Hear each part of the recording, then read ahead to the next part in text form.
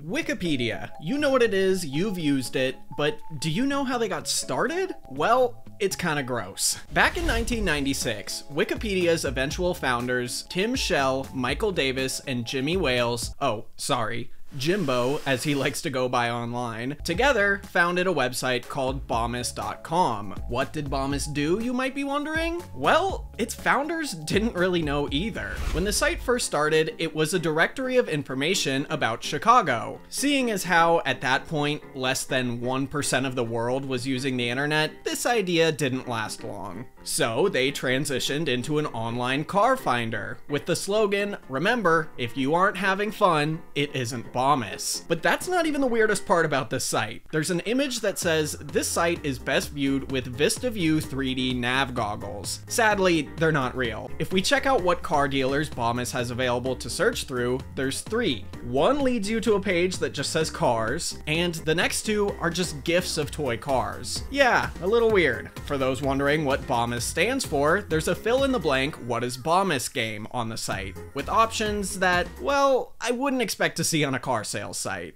Unfortunately, the game doesn't work anymore, so I guess we won't get the real answer. Fast forwarding to 1999, Bomis transitioned out of cars and instead decided to become an internet ring index. But what is an internet ring index? Think of Bomis as one big folder full of other folders. Let's say we open their television folder. It'll take us to a folder of television shows. If we click on a show's folder, it'll show us more folders of actors, actresses, and one for the show itself. So let's click on the Friends folder that's inside the Friends folder. In it is a list of pretty much the most popular Friends fan sites. Think of this as like Google, but before Google. Now, if you thought the Bomis car finder was weird, this site is even weirder. Bomis now not only had one slogan, it had 270.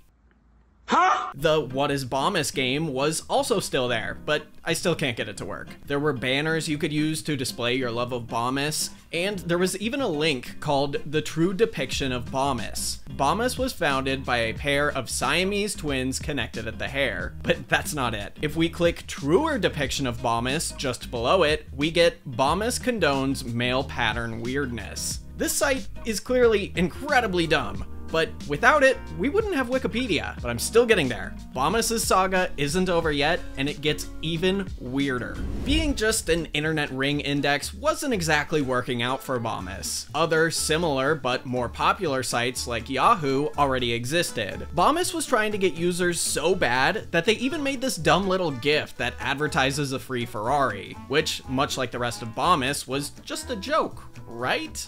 Well, no.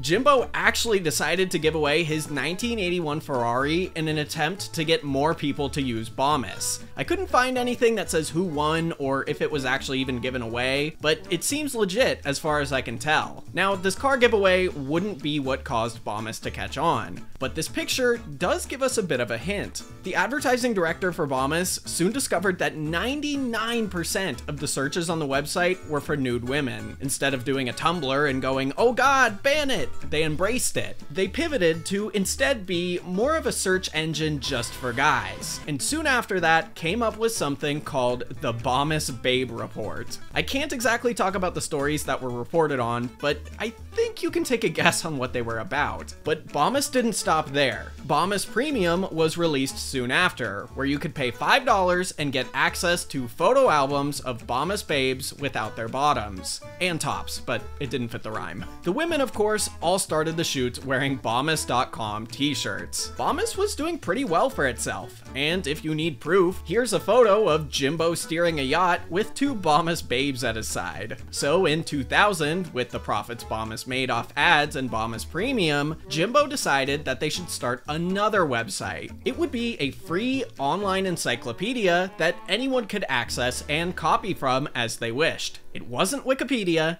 it was Nupedia. And it sucked. Unlike Wikipedia, Nupedia was very strict with who could write articles for it. They didn't want just anyone to be able to write content for the site. They wanted scholars and people with PhDs. In fact, writers even had to fax in copies of their degrees as proof. But even that wasn't enough. After an article was written, it would then go through a rigorous seven-step peer review process. Keep in mind, everyone writing articles was doing this all for free, but running the site and paying its editor-in-chief still cost money. After 18 months of work and $250,000 spent, they had a grand total of 12 articles. Yeah, what they were doing was clearly not working. Maybe the writers were too busy browsing Bomis. Well, soon after, a Bomis employee had an idea. They heard of something called a wiki, a new form of website sort of like an encyclopedia. People could create a wiki about any topic they wanted. Anyone could then add and edit pages of the wiki, all from their web browser. Jimbo liked this idea, and a month later, they launched a wikified version of Nupedia called Wikipedia Wikipedia. Finally, I know.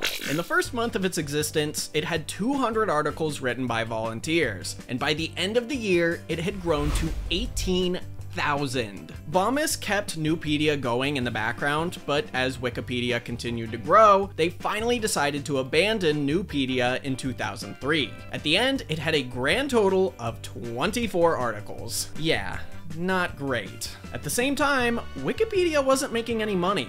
So, Jimbo and Nupedia's former editor in chief decided to tell the community they were going to put ads on the site. This upset a large portion of its users, and even caused Wikipedia's Spanish community to make their own separate wiki that actually did pretty well for a while. Jimbo figured without ads, he didn't really see a way the website was going to make a profit. So instead, he decided to turn Wikipedia into a non-profit website, which of course came with a number of tax and money related benefits.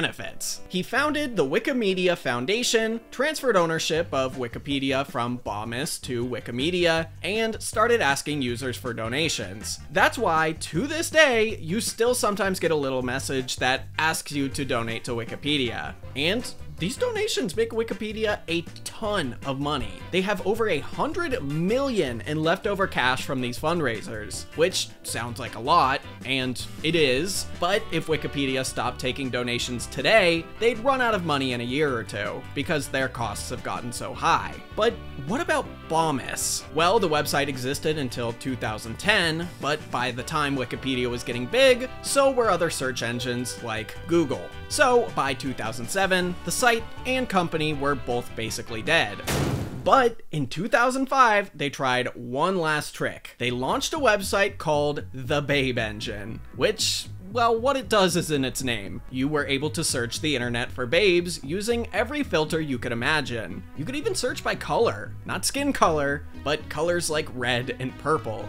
Yeah, I don't really get it either. As you might have guessed, Google was just better. Although Bomis never had any sort of going out of business announcement, they've been considered inactive since 2007. But the one thing that will never die is remember, if you aren't having fun, it isn't Bomis.